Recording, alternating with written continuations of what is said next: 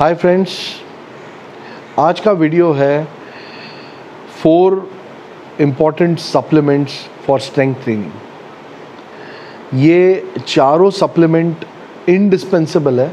अगर आपको, आपका पावर बढ़ाना है, आपकी स्ट्रेंथ बढ़ानी है तो ये चारों सप्लीमेंट जो हैं, ये उसमें हेल्प करेंगे आपको।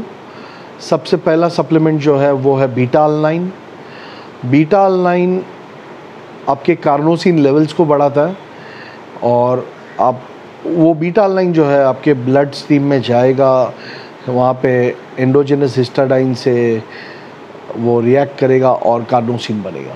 तो कार्नोसिन से आपकी स्ट्रेंथ बढ़ेगी पावर बढ़ेगा।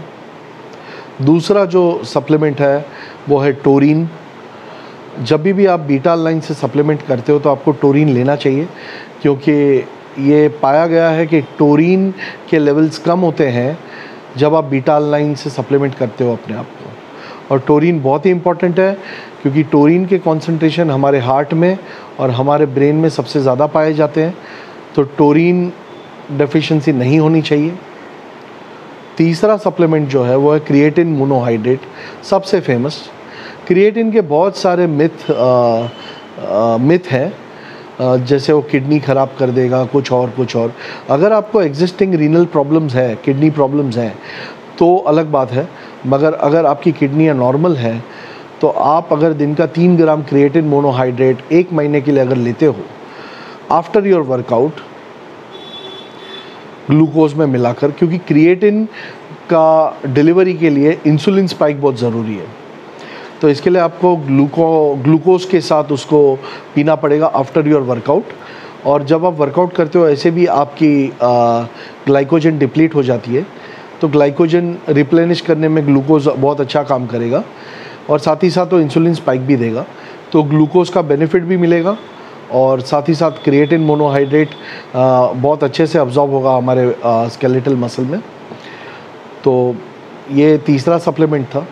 चौथा सप्लीमेंट है बी सी डबल ए अब बी सी डबल ए जो है, वो आपके ब्लड स्ट्रीम में तुरंत अब्जॉर्ब हो जाएगा, क्योंकि उसको डाइजेस्ट करने की ज़रूरत नहीं पड़ती। वे प्रोटीन अगर आप लेते हैं तो आपके बॉडी में जो प्रोटेज एंजाइम्स होते हैं, वो उसको डाइजेस्ट करने में ज़रूरी होते हैं। बट लूसिन आइसोलूसिन और वैलिन जिसको हम बी सी डबल ए बोलते हैं generally two is to one is to one ratio में पाया जाता है। इसमें लूसिन टू पार्ट्स होता है आइसोलूसिन वन पार्ट और वैलिन वन पार्ट अगर आप ये तीनों को मिलाते हैं, यानी अगर आप ये बी सी डबल ए दिन का 20 ग्राम अगर लेते हो अलग अलग टाइम पर वर्कआउट के पहले suppose five grams during workout five grams after your workout five grams अगर ऐसा आपने किया तो डेफिनेटली आपको बहुत अच्छा मसल गेन मिलेगा। Over a period of time तो ये चार सप्लीमेंट्स जो है, ये बहुत ही हेल्पफुल है स्ट्रेंथ इंक्रीज़ करने में बॉडी की। और ये कोई स्टेरॉइड्स नहीं है, ये नेचुरल सप्लीमेंट्स हैं। और क्रिएटिन मोनोहाइड्रेट तो बहुत ही लाजवाब है नो डाउट और बीटाल नाइन ये दो जो है, इसकी टक्कर का कुछ भी नहीं है बट ये सब सिनर्जेटिकली जब आप लेते हैं तो ये ज़्यादा बेनिफिशियल साबित होते हैं।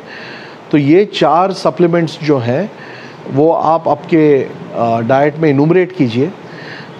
बीटा लाइन सुबह को उठते समय ढाई ग्राम वर्कआउट के पहले दो ग्राम टोरिन और ढाई ग्राम बीटा लाइन वर्कआउट के बाद आप तुरंत बाद ग्लूकोज में क्रिएटिन पाँच ग्राम बी सी डबल ए पाँच gram intra workout B C double A और बिफोर वर्कआउट जब आप बीट आपका टोरिन लेते हो और बीटाल नाइन लेते हो, उसमें ही पाँच ग्राम बी सी डबल ए आप ऐड कर दीजिए।